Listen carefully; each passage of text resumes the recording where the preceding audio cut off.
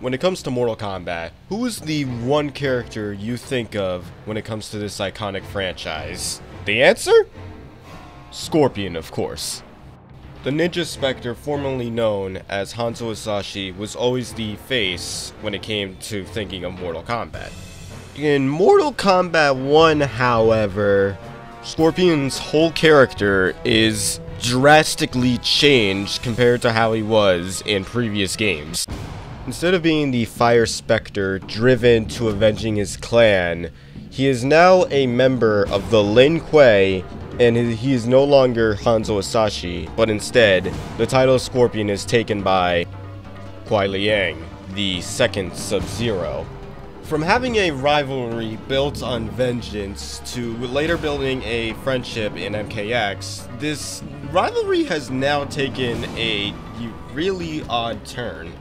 Instead of having two Sub-Zeros for the first time, both brothers being present for the first time in the series without having any uh, resurrections being happened to them, we now have to have this rivalry between Kuai Liang and Bi-Han as they struggle to lead the Lin Kuei in the right way. Before I go any deeper, allow me to quickly retell Scorpion's story before we go any further. As you probably know, Scorpion was a part of a clan known as the Shirai Ryu, and as such, he had a rivalry with the other clan, the Lin Kuei.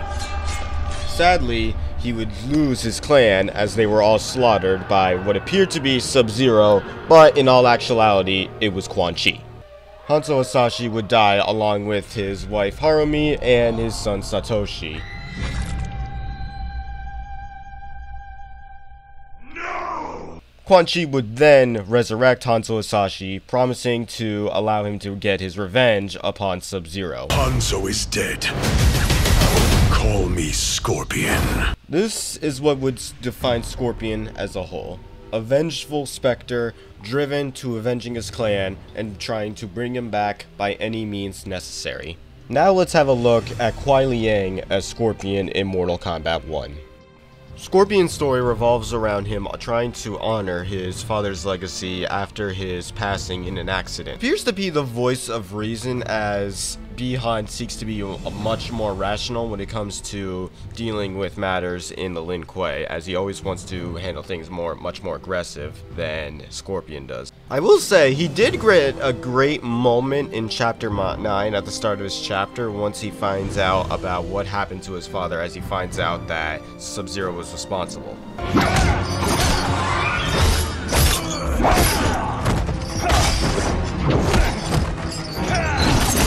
You wrapped up the story and play through Scorpion and Smoke's Towers, you find out that both of them decide to form the Shirai Ryu, along with help from Harumi.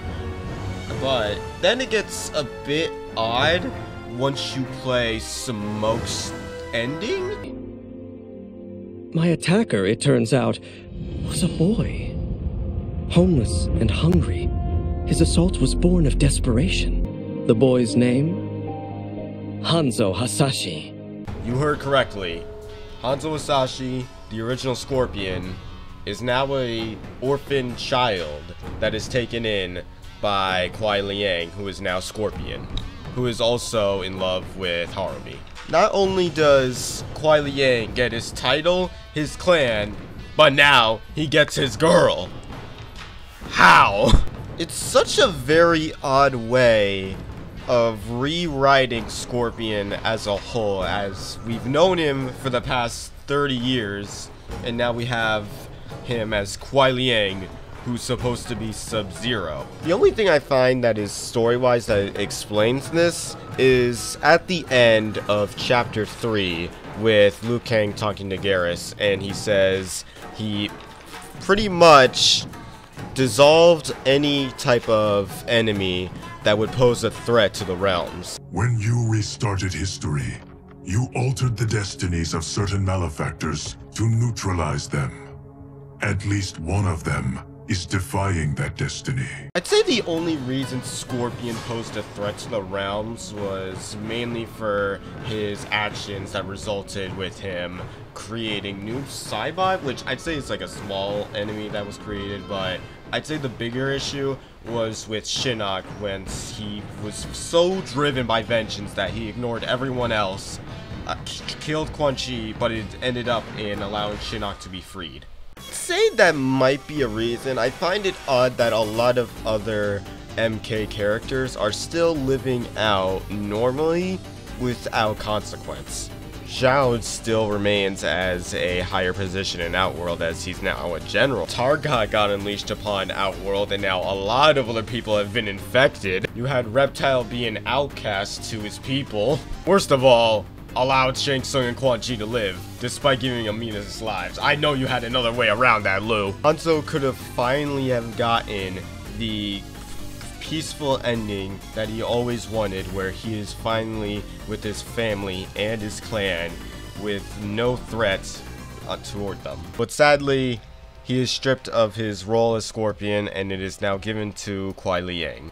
There was a lot I enjoyed throughout Mortal Kombat 1 story, but Scorpion's story as a whole was probably a small weak point for me. While we had a lot of different story changes for characters in MK11, this feels a lot more drastic.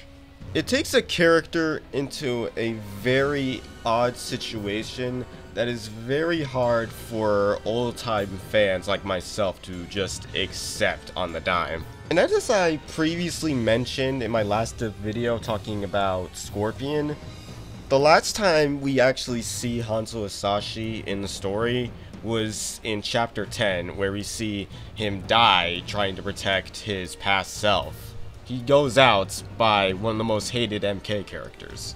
While we get a resolve for Scorpion's anger, we really don't get a resolve to him finally reuniting with his family.